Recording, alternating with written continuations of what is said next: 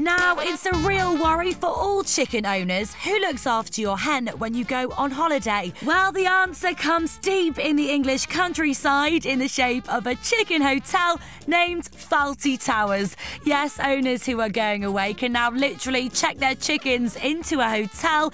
And here's the genius behind the idea, boss Julie Smith. Well, rehoming ex-battery hens, a lot of people asked what they would do when they went on holiday with the hens.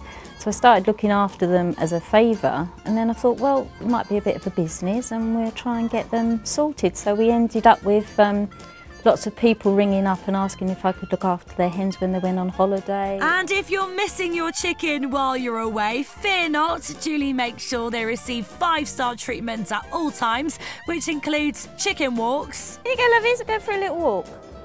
I'm taking them for a little walk. A visit to the local pub. Here we are, girls. And say hello. And some fresh lettuce. Here we are, girls. Yes, it's poultry paradise.